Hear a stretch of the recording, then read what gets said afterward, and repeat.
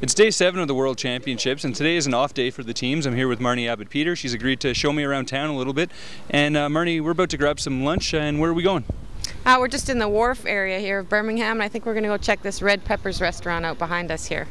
I'm looking forward to it, and uh, I have to ask you though, I'm wearing a baseball cap. I know Bear wears a baseball cap. Have you seen anyone else in the UK wearing a baseball cap? Uh, no, I don't think so actually, now that you mention it. I didn't think so either. So we're gonna go grab a quick bite. We're gonna see a bit more of the uh, the square in around the arena, and then uh, Marni's off to practice. Yo, yo.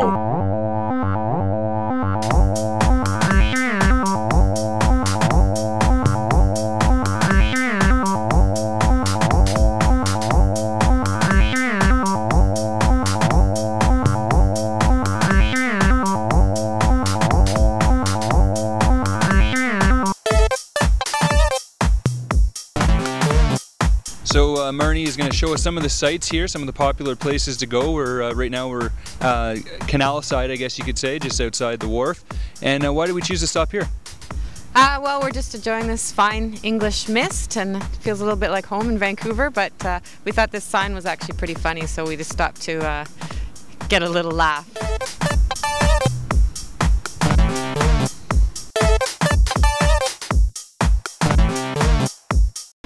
So we're making our way back to the gym now, and uh, what we have in behind us is the, the town square, as we've been calling it.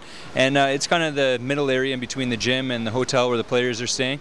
Uh, Marni, what's this place like? It's kind of dead right now. Obviously, it's a bit rainy. What's this place like at nighttime?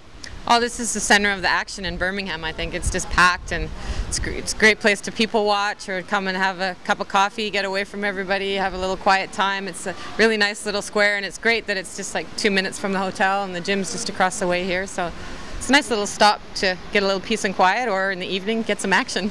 And you mentioned coffee. There's a co coffee place just over our shoulders, the, the Costa. Have you had a chance to try them out? Oh yeah, the guy knows me there. Every time I come in there, he gives me my raspberry iced tea lemonade, which is, I think, the best drink they have in there. So today I might need a hot drink though.